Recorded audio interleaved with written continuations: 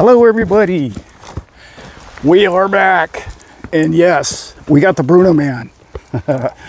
I'm back here on the rock. I know I have a lot of new subscribers. So this is a, a rock that I like to shoot on when, uh, when the weather's nice. And so you'll be seeing a lot of videos with this setting right here. Uh, thank you, by the way, all of you new subscribers. My channel is blowing up and it's because of you um, that I make this content. And you and I are on this incredible journey together. And I couldn't be happier to do it with you, with my son, with my wife. And uh, we're all doing this together. It's going to be a lot of fun. Today's video is about something I, I heard Brad Garlinghouse say yesterday, which really kind of hit me. I was like, wow, Brad, way to undershoot it. Four, four or five trillion dollar market cap is, uh, wow, you are going corporate down the middle. You know, I was like, that's way low, buddy. So I, I thought, ah, okay, maybe I'm just being a little bit too optimistic. No, Bruno, no. So Bruno, he's excited about the season too out here, but we're gonna film together. Right, buddy? Yeah, he is. So I know. So uh, those of you who are new, there's a lot of people that really, I think they only watch the videos for the dog, to be honest. But anyway, this is Bruno and uh, he's a big boy. Back, back. He is a blackmouth cur. So if you guys know what those are, uh, we actually breed blackmouth curs. And we have a farm here in the ranch. So if you hear a chicken or a rooster or something like that, don't be alarmed. Uh, where was I? Brad. Brad and I uh, ran into each other in an elevator at the Vegas. See, that's the kind of thing. If you go to Vegas, you could run into people like that and have a conversation, which was kind of cool. Um, he undershot it.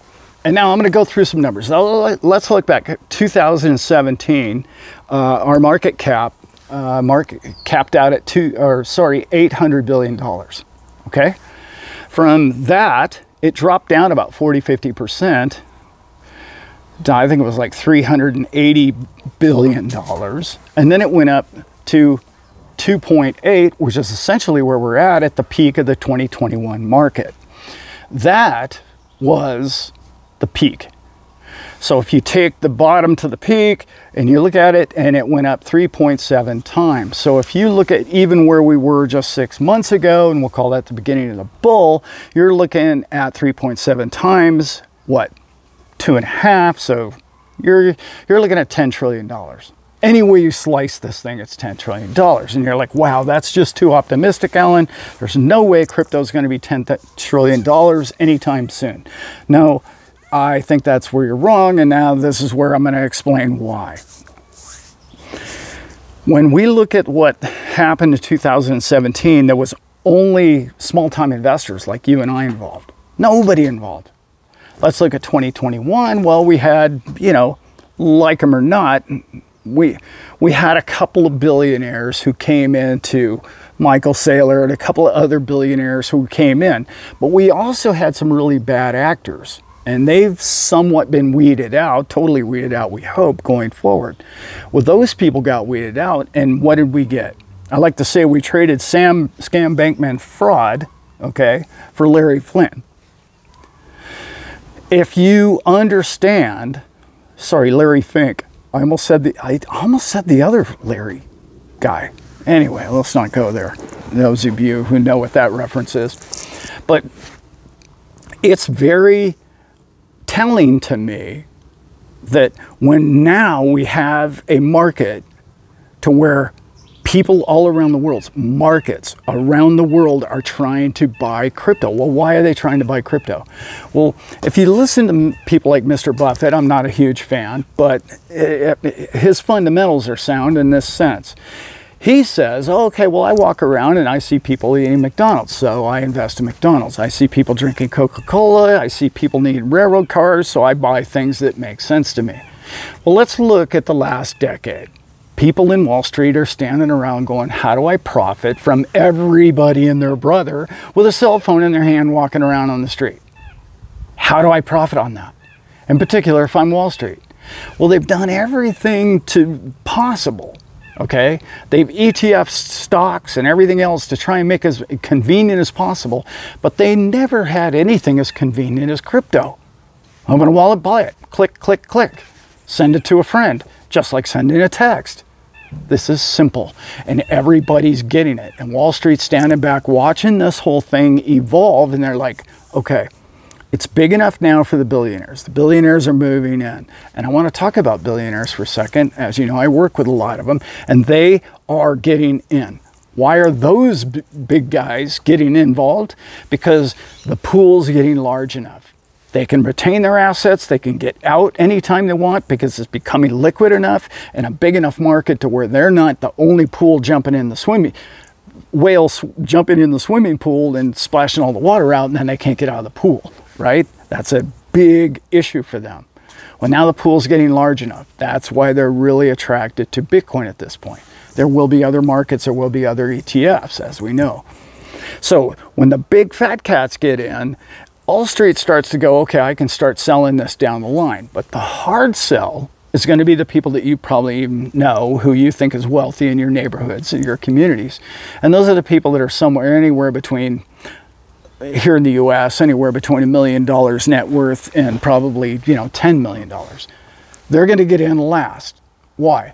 Because they're the ones that said, well, I built this thing from elbow grease from the bottom up and I worked 20 years and that's how you make money and that's the way they see money being made. They don't understand what the big fat cats in the world understand is money makes money. And if you know how to manage your money and understand your money and what to do with your money, then you create more wealth. That's what the big cats, whales in this case, know. Well, when the whales come in, that means they start teaching the middle money but what you and I know as being the entrepreneur that you are and we are is we see value in market. We see a network effect that crypto has created. And we look around and see everybody on their phone and we know that they're not going to buy bonds. Yeah, they're going to buy some gold coins, but really, you're probably not going to see too much gold coin. In my opinion, I think gold's a great investment for a security investment. I do. I really believe in that. I believe in silver more, as you guys probably already know on this channel. But if you're looking at the future of trillions of dollars going anywhere, explain how anybody can buy an AI stock or company with a click of the phone. You can't. It's more difficult. The research is more complicated and it's of course it will be adopted and there will be company crypto companies that involve themselves in those products which there are now. And that will be a way for you to easily click with your phone. But there's nothing more simple than buying cryptocurrency on your phone. So what does that tell you? That tells you that trillions of dollars globally are coming. Well, how else do I know that trillions of dollars are coming? Because let's look at what the dollar was worth in 2017 compared to today. Let's look at just what they've done to the dollar since 2020. As I believe the number is anywhere, depending on who you listen to, the inflation rate, the true amount of digits created since 2020 is anywhere between 25 trillion and 40 trillion, sorry, percent has been added to the amount of dollars circulating the planet, US dollars. That's crazy. That means that everything had to have gone up in your lifetime in the last since 2020 25 to 40% in value for you to break even. Well, everybody and their brother knows you haven't done that, have you? You haven't. So you're not keeping up with what's been inflated.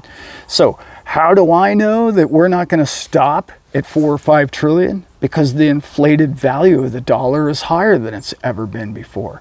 And then what happens is you get the publicity of people in Wall Street or people on the TV are going to start to be told to sell this thing because look, market's going up, there's more and more trillion dollars, it's become a larger market than this market, a larger market than that market. It has a long way to catch gold, but gold's just over 10 trillion. I think it's like 12 trillion now. That it's that's the next target for us. And we're headed there, and I just explained all the reasons why it's going to hit that target. It's pretty simple. So Joe Public's buying it, billionaires are buying it. The middleman is the last guy to get in because their net worth is in the old system. They don't understand how to make money with crypto. They don't understand what it means. They think it's a scam. They think it's not hard work. They think all those old school ways of making money are gone, guys. Those are done. They're they're not done, they're in decline, right? You can still make money that way, and I'm not trying to say you shouldn't work hard for a living. That's not what I'm trying to say. What I'm trying to say is you make money with knowledge. You make money with understanding where the ball's going. And that's what channels like this one and others are really good at. They help us see the big picture. I've been an investor since I was 20 years old. 44 years now, I've been investing in projects like crypto, and some of them have panned out some haven't. But I heard about crazy companies called Google way back when it was nothing. And when you understand what all, he's about to knock my camera over. back, Bruno Man. When you understand where you stand in life, you've never had this opportunity before. Never. You've never been before the banking, institutional, and the fat cats ever before. It's usually they get in, they corrupt the system, they hang on to it, and then they sell it to you. Well, you got in before that happened because trust me, they're corrupting it. They corruption's kind of a tough word, but it's the truth. Manipulates probably a better, more PC way to put that. But what they've done is they've looked at it with all their bean counters and all their people trying to explain to the staff.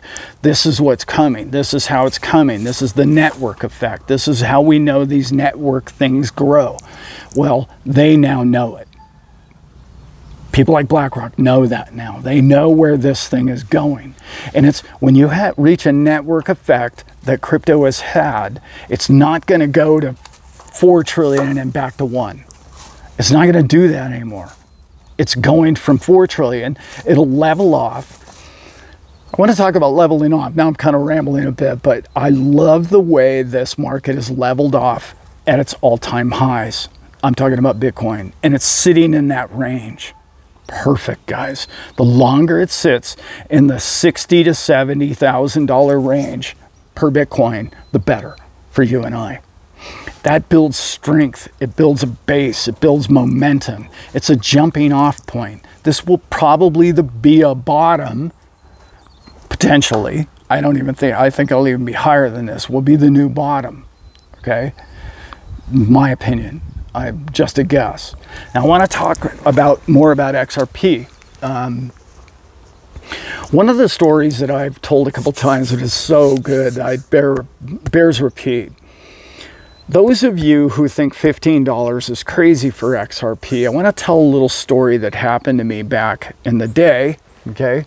21, I believe this was, whatever it was. There's a little company, and a lot of you know, a little crypto called Theta. And I love Theta, I love the project, I love the people behind it. I own some Theta, full disclosure, and I owned it. I started buying it when it was about 11 cents. I started buying it. And I bought it up into 20 cent range. Theta, because of what happened to Theta, is it passed that dollar mark. Once it got past that breakout point, it exploded. It beat virtually every other crypto, and I think it went up 150 times. I want to say something crazy like that. It went up 150 times. Why? Not that many people knew about Theta. The bots got a hold of it. The traders got a hold of it. People saw it. People saw profit. People were calling me and asking me, "Oh, Allan, you know about Theta? Should I buy it at eight dollars?" I was telling him, yeah, you should buy it at eight dollars, but if it goes to five dollars, don't call me back and tell me, you know.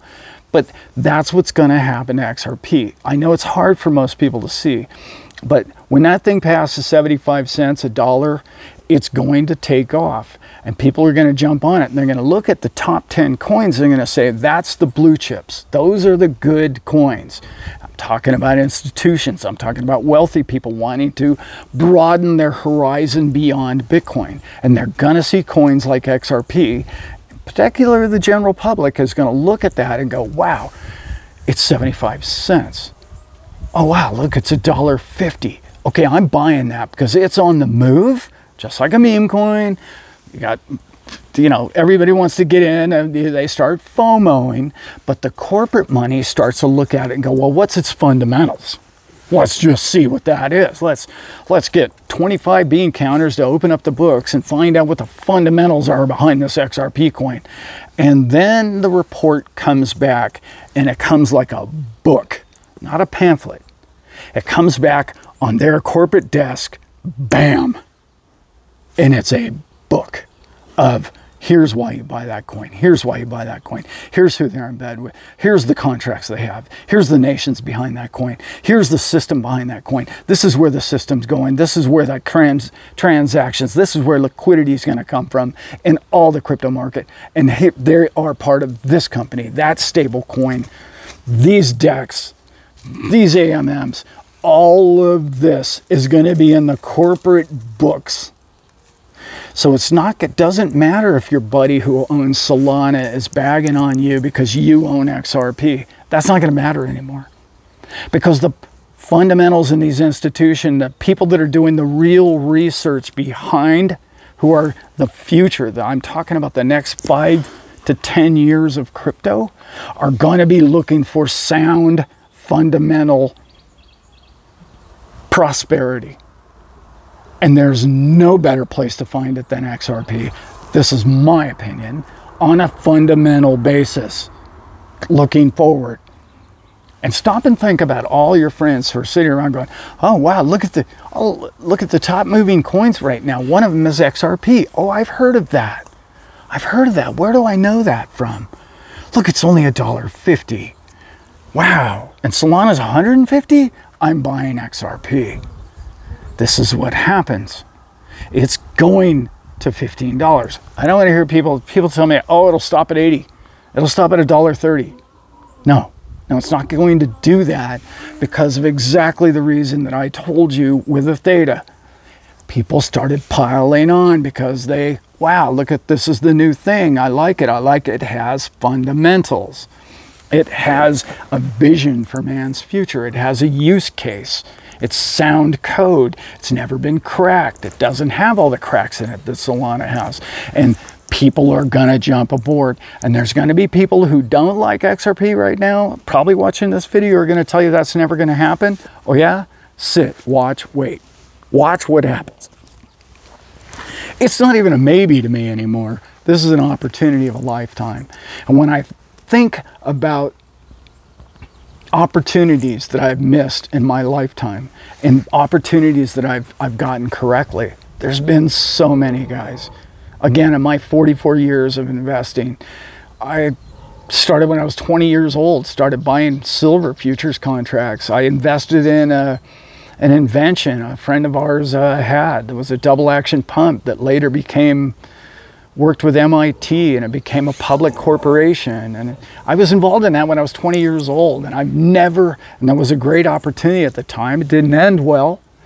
But this opportunity, you're out in front of what the world is going to deal with again on their cell phones from the all the way down from the man on the street with a cell phone all the way to the top with the board meetings with people slapping bibles down excuse the reference, of books of the fundamental reasons why this is the future of investment.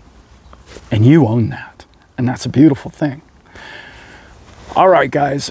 I hope you guys get outdoors and get inside or uh, outside and uh, enjoy your dogs and your animals or your life or walk in the park, whatever you can. Uh, spring is here. It's a beautiful thing.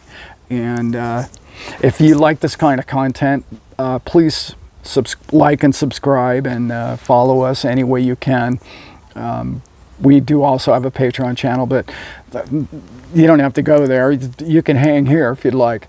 But we are family. It's my wife and I and my son, and we share our lives on uh, YouTube with you all because A, we're excited to do this whole trip with you guys and it's going to be a lot of fun to do. So stick around. Thank you if you're a new subscriber. I hope you enjoy the content and please share and like. And I love you all.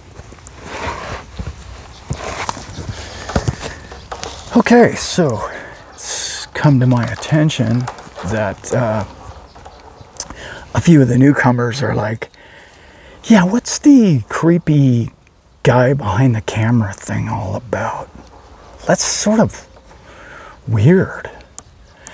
Well, it's kind of goes like this. Uh, when I first started the channel, I I would talk to myself and edit it out at the end of the video, talk to myself what I liked about the video, what I didn't like about the video, and what I should have done, and I was forgetting myself, and I was, uh, you know, Homer Simpson, the whole dope, the whole thing, and I was like, well, why am I, why that, that's kind of funny why not just leave it in there and then people can, you know, listen to what an idiot I really am instead of just listening to the guy in front of the camera who comes across like he knows everything and he's got it all figured out and you should only listen to me.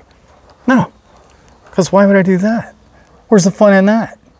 We're just here to have fun, people. Enjoy your weekend. Love you.